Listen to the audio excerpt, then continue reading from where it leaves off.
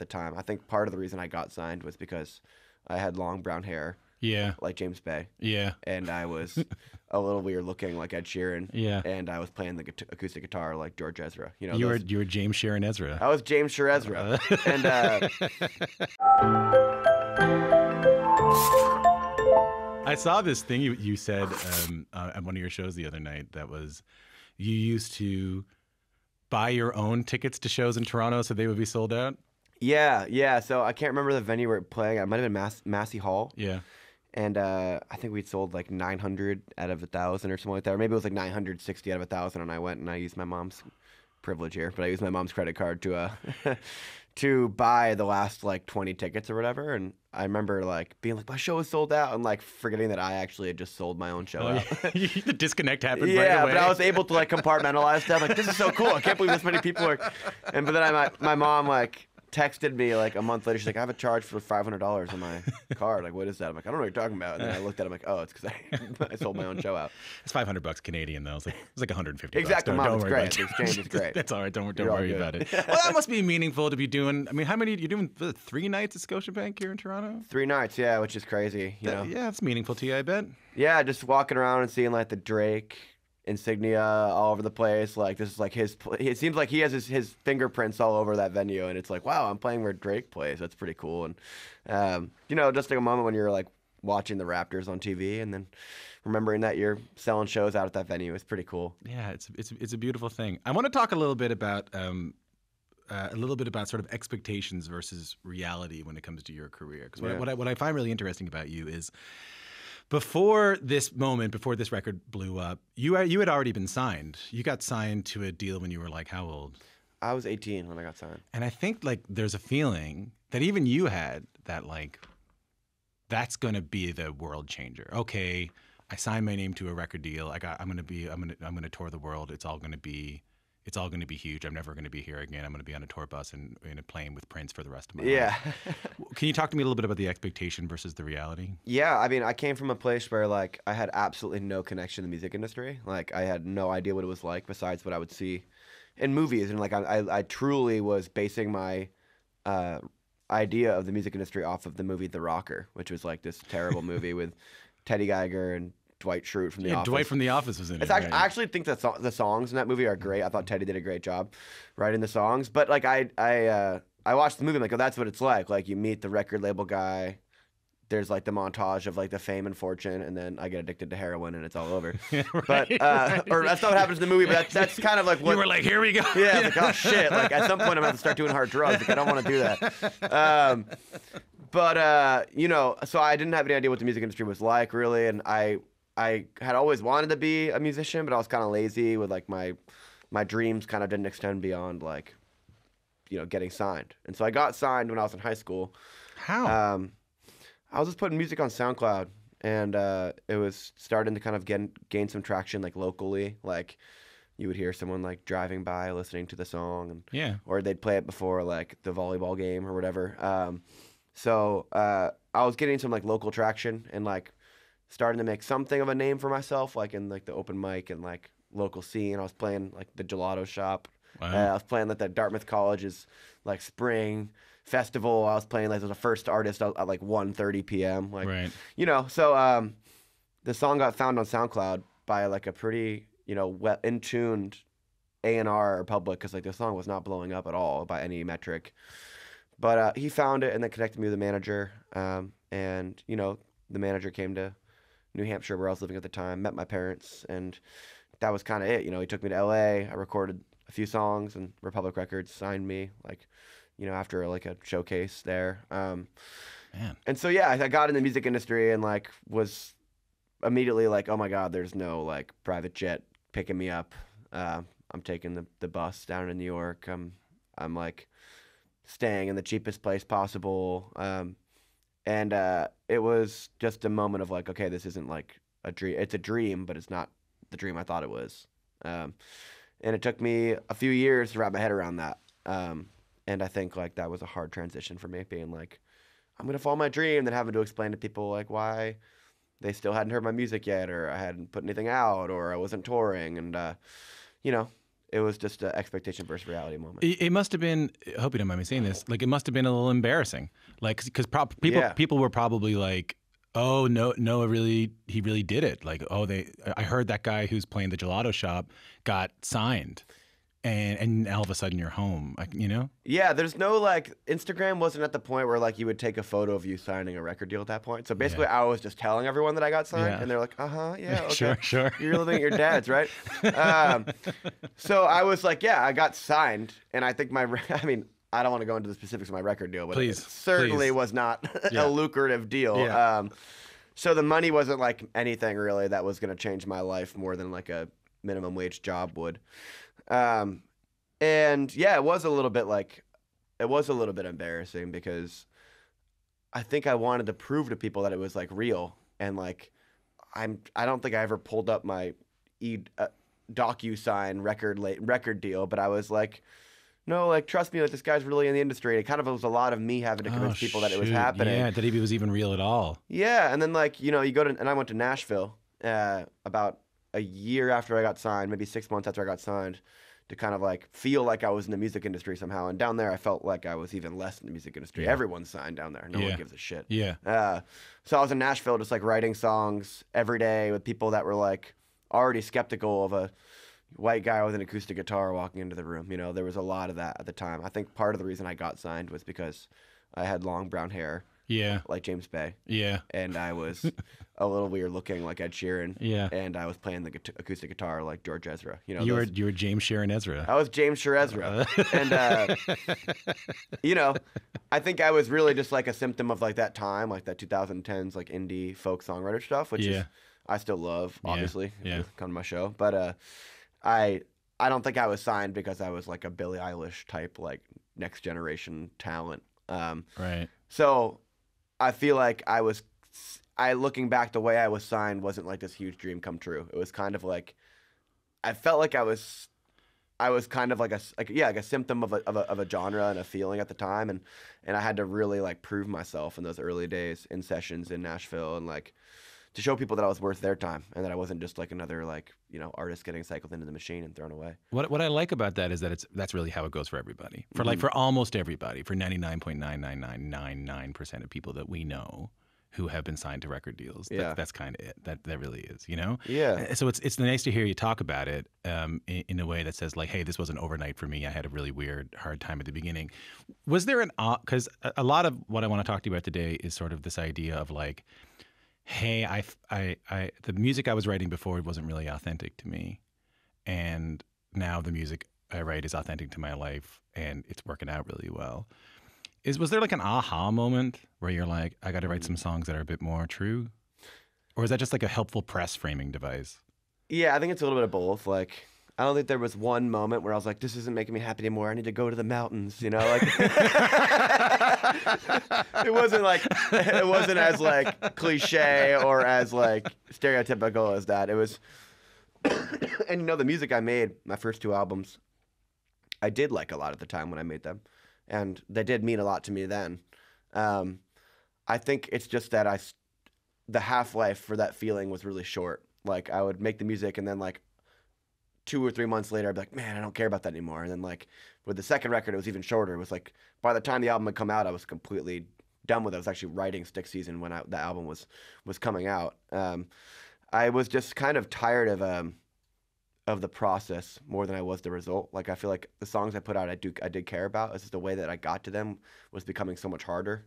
Like, you know, I was going to sessions in New York where I was living at the time, like simply because I had roommates that were like working nine to fives, and I wanted to like work a nine to five myself in the music industry. Right. Because I always felt like this isn't a real job. Yeah. I make my own schedule. I'm terribly unstructured in my Yeah. in my brain and my life, and like Yeah. I need to like wake up in the morning and go to the studio. That's like a that's a romantic thing that a lot of songwriters talk about. Like Right. I think they read that Rivers Cuomo article where he, from Weezer where he was like, I approach it like a job. I you know I take a lunch break in the middle of the day. Mm. Yeah. yeah, I get it. You know. Totally, and it's really hard to do that, but it's also hard to not do that because otherwise, like, you watch NBA slam dunk compilations for two hours, like go eat food, go on your phone, make something for ten minutes that might change your life, and then Yeah. like play FIFA, and it's like, dude, like that can work, like, and that has worked for me, but I don't like that it works because it it makes me feel like I don't have, I'm not valuing half of my day, like.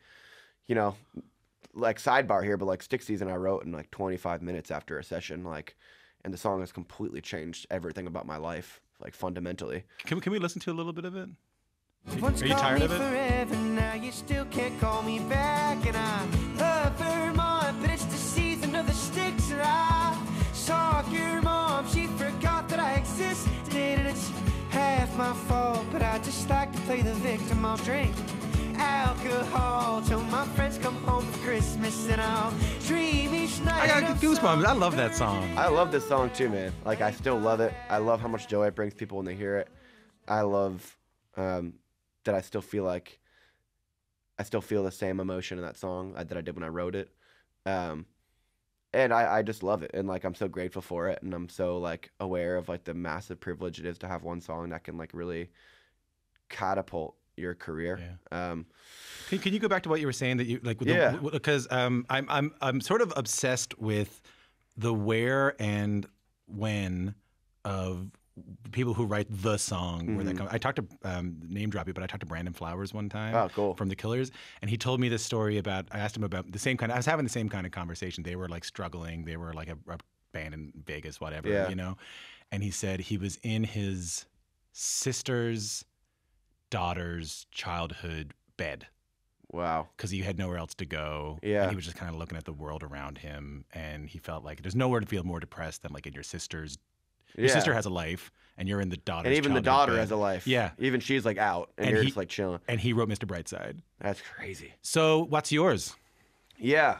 Um, that is way cooler than mine. I gotta make some shit up. I'm on top of a roller coaster. Um, I was in, I was in Mount Everest actually when I wrote that song. A lot of Uh, people don't know that, but actually, I was yeah, I was. I didn't even have any jacket on. I was up there, t-shirt and Did, shorts. didn't even have a guitar. I just it just came to me. you yeah, know? like I, you, the guitar sounds you hear actually me with my mouth. um, no, I was my story. I think I think the story of this song is like emblematic of like why the record was important to me, and it was like a good like microcosm for like a larger issue of my life at that time. Look at all those big words I just said. Um, killed it. I was recording my second album, I Was I Am, and uh, and I was working with Joel Little, who's incredible, by the way, and like did an amazing job on that record. And I, whenever I talk about this record, I try to be really sure not to like sound like I'm, you know, negating his Yeah. talent and his effort because Yeah. it means the world that we did that together, and I still love a lot of the songs. Um, but we were working on it. He was in New Zealand, and I was working from his studio in LA, like remote engineer Mark Rankin in there, and we were like on the Zoom every day and. And I was just burnt out, and I would so I would go back to the Airbnb I was staying in, and it was an Airbnb that was like in the middle of um, like the that the window looked out into like the courtyard of like a ring of the of the apartment building, so Yeah. like you couldn't really see much, and it was kind of depressing. And um, I would go back to Airbnb, and I would just like get high and like make music that I would never show anybody else because I wanted to like enjoy making music for one hour of the day because I the, like the other eight hours I was just like slogging through. It felt like. Um, and I had like was writing a bunch of songs that night, and I was like, I want to put one of these on TikTok. Like, I just want to like put something up on the internet and like stay relevant for a second here. Um, and uh, I wrote the first verse to Stick Season, and I was thinking about how I had to buy weed from high school kids as like a 23 year old guy, and I was like. I have to like the only way I can. I'm like alone at home, and I'm like buying weed from this like 18 year old kid, and like, you know, I have to go to like drive into like the pizza parlor in town. I just felt like a lo- like a like I felt like a like a washed up guy in my career, yeah, and then I was at home and I felt like a washed up dude in, in like in my life. yeah, Even though it had like at that point like hundreds of millions of streams and I've Yeah. toured for a long time, it's just like I just still felt like I think I felt so disconnected from the music that to me it felt like I didn't even have a job. yeah.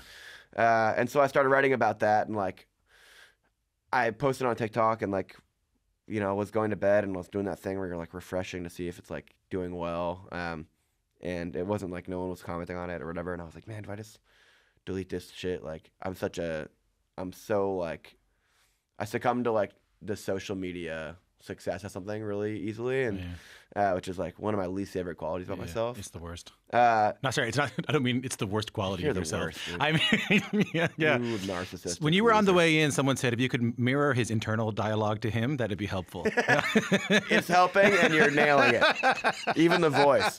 Um, Not great. no, but I know what you're saying. It Yeah. is like it's, it's something that we sure, all fall into. I am. I am agreeing with you because it's something that I try to. put- I, I lie to people and say I don't do. Yeah, we all lie but about it. Everyone likes the way it feels to see people interacting with something you Yeah, post, yeah. and everyone hates the way it feels to see nobody doing it. Yeah, right. And so I was like, I'm gonna delete this shit, and then I like, I truly did like get high on an edible, like that I'd taken before, fell asleep, woke up the next morning, and the song had like done a lot of uh, a lot of numbers on on TikTok for my like at, at my following at that point. Like it was blowing up, thousands of comments, hundreds of thousands of likes. I was like, oh, cool, and and then I wrote the chorus uh, that next morning, kind of with that like pep in my step, of like, cool, people like it. Here's the chorus, you know, and um, yeah, posted it, posted it, and that did well as well. That's so different than like the story that movies like The Rocker or whatever, like not The Rocker, but like the Yeah. story that movies tell us about how songs are created. You know, I love that idea that you you wrote the verse, got a little too high, fell asleep, which we all do. Yeah. Um, you wake up and, but what a beautiful thing to know that like, oh hey, I never because I'm, I'm hard on TikTok. I'm hard on TikTok and music because I'm 36 and Yeah. I'm just outside of it, For sure. Yeah. and yeah. I'm hard on it, and I'm trying not to be hard on it. No, it's good to be critical sometimes. I know, but it sometimes it, it veers into old grump, or like yeah. or, Old man yells at cloud. Kinda. yeah, or maybe like some self criticism on my part. Like I don't really get it, so I'm you know. Yeah. You feel like outside of it, so it's like everything about it has to suck. Yeah, exactly. I you get know. that 'cause I Yeah. do the same thing, and I'm like, but I had all my success on this app. Like, Yeah. why am I making fun of everybody? Like, what am I doing? What I like about it is that you get this moment where you go, "Oh my god, that verse really works. Now I can write a chorus." Totally. Yeah, totally. And like what was cool and like I genuinely mean this, like of course a lot of this song was driven by like the fact that people liked it already. But I think I needed to hear that. I was so low confidence in my songwriting and like beyond the point of being critical or being like constructively critical. I was like everything sucks and like it felt really good to write something that felt like a little different from what I was making. It was about Vermont, which is like I didn't think people were gonna relate to. It was really just for me. And to see all these people be like, "Hey, I love this idea." I'm like, "Cool!" Like, there's a lane for this feeling that I have in my songwriting right now, which is like I can write about what I care about at home by myself, not needing to be in a, in a multi-million dollar studio or with a big time producer. Like, people want to hear what I have to say, um, and that felt really cool. Like to get that validation. I really needed that at that time. Isn't there a lesson there? Like this, this gets bigger than any of that other stuff you'd done. Yeah, there is a lesson. And I just talked to somebody last night about it. I was like, man, like, I got to make my next record now. And I'm like, I don't know what to do. And he's like, well, last time, didn't you just like do whatever the fuck you wanted? And I was like, oh, yeah, maybe I'll try to do that again. Why don't we? Like, this is something that I've been thinking a lot about. In, I'll just be candid with you. First two or three years of this show, I mean, I was, I didn't, I didn't, I didn't sound like this. Yeah.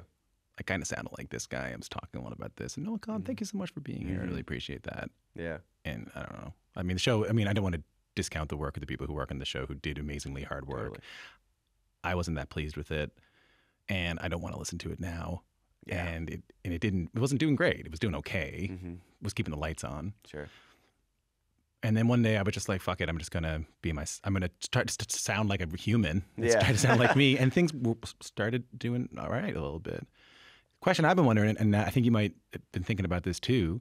Why don't we just do it at the beginning?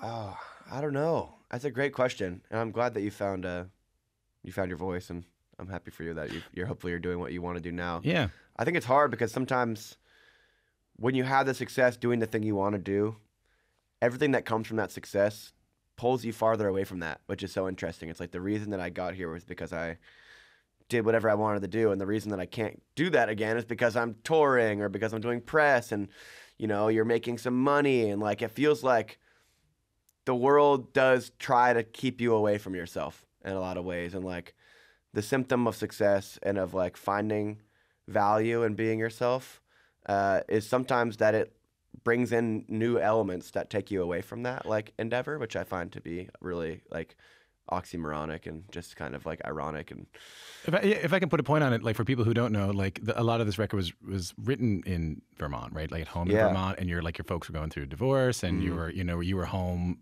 I love the story about you wearing like your high school soccer outfit. You Yeah. know what I mean? And you were Yeah. feeling like you were regressing a little bit. Yeah. And then, right? Yeah, totally, totally. I was, I was kind of like, like, like, luck, or I guess it wasn't luck because it was COVID, but uh, you know, like this really random event forced me back.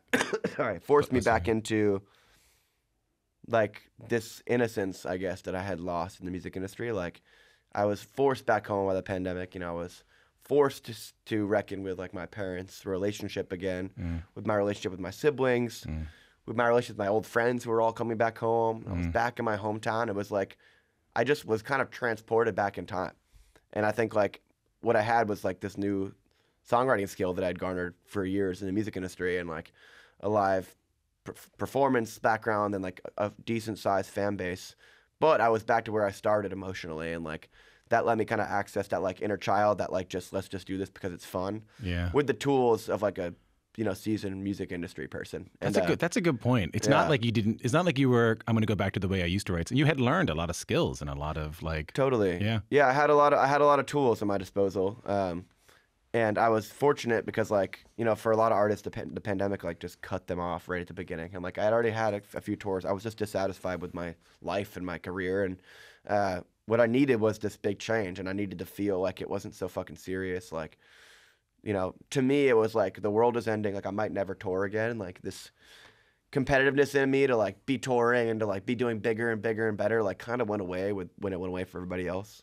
And i felt like it was like an even playing field a little bit. Um, and it just felt really good to be making music that like i liked and not thinking about how it was going to propel me forward i never thought about that when i was making these songs i was never like this is going to Yeah. be the thing i never thought about it like that And now I hear what you're saying because now you're. and now it's like we're right back like i feel like i'm right back to where i was before the pandemic and it's So what are you going to do? Is that a Oh dirt? God, I need another pen. no. If you could just isolate that and turn it into a tick, that would help me out a lot. Yeah, that would ruin my career. Yeah, yeah, yeah. no, absolutely not. Absolutely not. I think I need to find what, like, what worked from that, and find a way to bring it into my life, and that's going to require more discipline than I was able to have at that time. Like, that's going to require me making the changes and not Oh yeah. the government deciding that everything's closed down or like, you know, that's not going to be like a best health practice. It's going to be a Noah like, turn off your phone, go Yeah. home, unplug. You've learned what worked. Yeah, I, I have, and I have no excuse not to at least try it again. Yeah. Can I can I ask you about uh, can I ask you about growing sideways? Yeah, of course. Can we take a listen to it? So I forgot my medication, fell into a manic high. Spent my savings at a Lulu. Now I'm suffering in style. Why is pain so damn impatient? Ain't like it's got a That's place. Noah Kahan with Growing Sideways from his album Stick Season. Um, a couple of things on that. One is I heard you do an introduction of it, and you said, uh, I've been thinking about all the years I spent lying to therapists, Mm-hmm. which I've also, I don't know why I've done it, and I don't, I stop myself immediately and go, I don't know why I'm about to lie to you. I know. Then That's you're like, fuck. Now I need to talk about that. It's like, yeah, why am I no, lying? Yeah, now, now we're not going to get to the thing to the next session. Yeah. Hey, by the way, should I not be swearing? Ah, whatever. Okay, cool. Sorry, I'll try to. I think I think the rule at the CBC is three nights at Scotiabank you can swear in the CBC. cool. yeah, yeah. All right. Listen, if it was two nights, Yeah, you'd, two be, ni- you'd be bleeped, buddy. Two you nights you're much. kicked out of Canada. Three Yeah, nights, do yeah, whatever you want. Yeah, yeah. One night you got to host this show.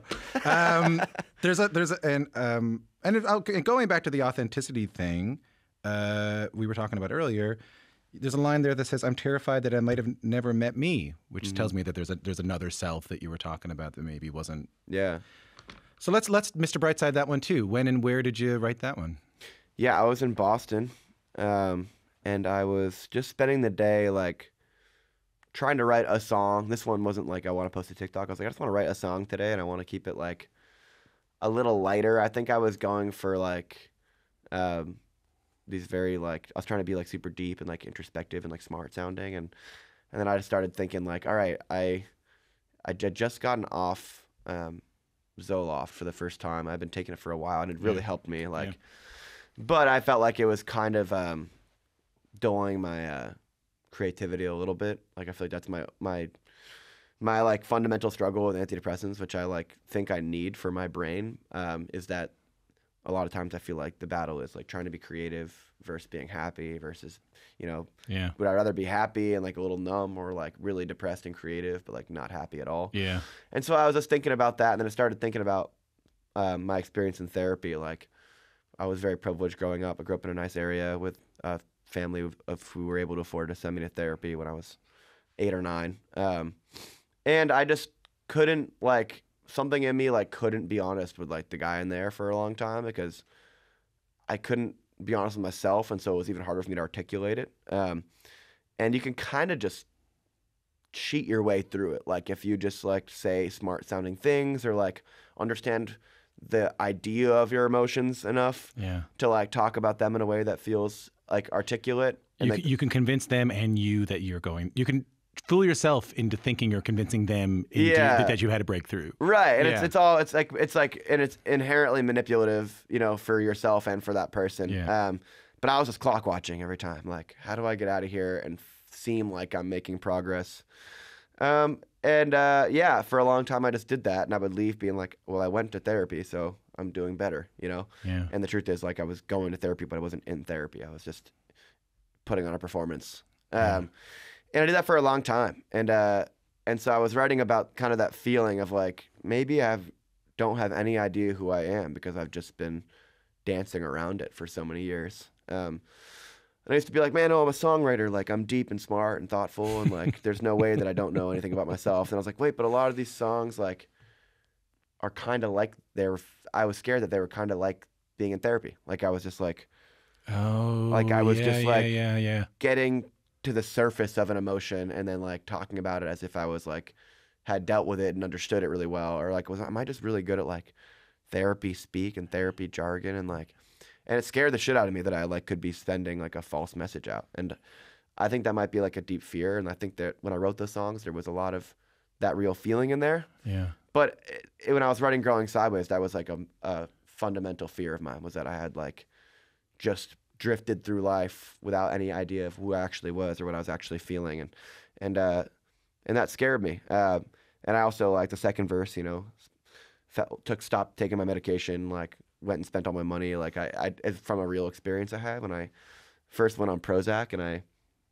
Uh, went cold turkey off of it, Oh no. you're really not supposed to do. It's hard. On, it's yeah really hard on you. really hard. I mean, I like walked the streets of Los Angeles and got this like horrible haircut that I thought looked really cool, and I was like super manic and like uh, spent a bunch of money on. I don't know if it was Lulu, but I spent a bunch of money on like terrible clothing, and I was just walking like. Just like a crazy person walking around because I was like literally having like crazy withdrawals. Uh, and so I figured I'd throw that into the songs. I thought it was a funny memory and I wanted to shout out Lululemon. so, so yeah, that's kind of where that song came from. You're gonna get a brand deal out of it. Maybe Yeah, try to but it's okay. yeah, come on, let me make it happen. uh, what I love, I tell you what I love. I appreciate you telling me all that stuff. Yeah. Um, what I love about it is well, a bunch of stuff. I like the song, and also I saw um, when I when I saw a, a couple of live performances of it. Your crowd, who are like you know your age or so, like there's like ten years in the difference between you and me. It's not a whole lot, but it's Mhm. enough that like we weren't as open about it. yeah. I watched a Cheers episode the other day where like one of the people, like a rumor got out that one of the people was going to a therapist, and everyone was like, "What?" Throw him in the woods. Yeah, yeah, then- Oh no, I'm so then- worried about him. He's going to a But turns out it was false, and he had to convince everybody, like, "No, I'm not." You know, it turns out he's not. And the resolution of the episode was, "Okay, good, he's not." dude, that's so that's so crazy, man. and and I think even for me, especially as a guy, like in, in when I was in, I started going when I was 28. What was that? That was like seven years ago, eight years ago. I didn't know a whole lot of people, Yeah, and I didn't. I wasn't. And before that, I probably should have gone years before that, and I didn't think it was okay to go. And I had had a panic attack, and I didn't know what it was because no one told me, right. and I didn't think it was all right, and none of my friends thought it was all right Yeah, it's amazing to see at your shows when you're singing about this stuff when you say the word like so i went to see my therapist and a crowd of 18 19 20 21 year olds flips out yeah. and it's the- crazy. but in addition to it being wild it also just means that like it's okay to to have those experiences now were you like like when you were going when you were eight were you was it okay did you feel like okay yeah i can do this I think since I didn't know anybody else that was going, and like I didn't understand why I was there. Yeah. Like I remember being like, why am I here? In hindsight, I'm like, oh my god, of course I should have been in therapy all day long for Yeah. seven days a week. But Yeah. I, but um, I didn't know why I was there, and so I felt like, to me, it was like this. It felt like more work to me. Like it didn't feel like something that I was like blessed to be able to do. I was like, what is this weird thing I have to go do every week? Like, okay. um, There was no shame or stigma around it. there it. was right? no shame or stigma around Okay. it. No, because my siblings went, and I, um, and my parents always supported the idea of like going to talk to somebody about something. And I truly, in my head, thought that everyone else in my class was having the same experience. That everyone's parents talked to them about that. Like that everyone was like, everybody was like, was fluent in the language of like therapy and like talking about your feelings. Um, it wasn't until later on in life that I realized how fortunate I was for that and how rare that was. Is Um, that is that why Busy Head exists? yeah, it does, and it also exists for the reason of growing of growing sideways. Um, like I said, I spend a lot of time writing about mental health in my songs and like writing about my anxiety, and my fear, and depression, and like that is awesome. I think like it's cool that I'm able that I do that, whatever. Um, but like putting your money where your mouth is kind of is, Yeah. is the reason Busyhead busy head exists. Like I'm playing arenas now. Um, like that comes with like money and um, opportunity that I didn't have before. Um, and I would be a waste to not use that platform, that resource for like something really good um, that actually does the work, like not just singing about it, but actually like raising money for organizations. Like last night, Jack.org came to the show and they are, you know, going to schools and teaching kids about mental health and like making a real difference in like communities across Canada. Um, and the way they were talking about it, like speaking of like to your point about my shows about growing sideways, was like people are kids are so much more fluent in this stuff now Yeah. because of organizations like that. People are able to like talk about it with their friends and like it's not like this terrible thing that you would never talk about or else some guy would call you a baby or whatever. Yeah. Um, it's something that's really starting to happen and like for me like being able to support that like and give the kid give people an opportunity that you might not have had like Yeah.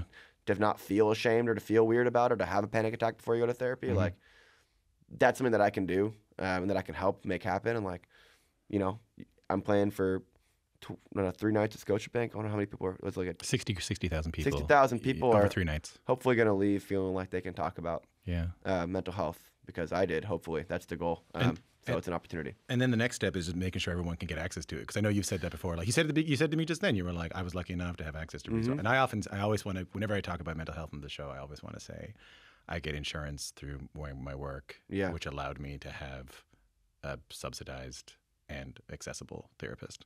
yeah And I just want more people to have that access. You know. Totally. Like something I wanted to talk about and not to just sit here and get on my soapbox or juice box, whatever the hell the word is. Uh, I think it's juice box. juice box, not to Yeah. get on my juice box. uh, and like kind of like pat myself in the back, but like something that we we started on this tour was we have this company Backline that uh, provides links people on, in the touring industry with um, with therapists and counselors and like oh, lovely.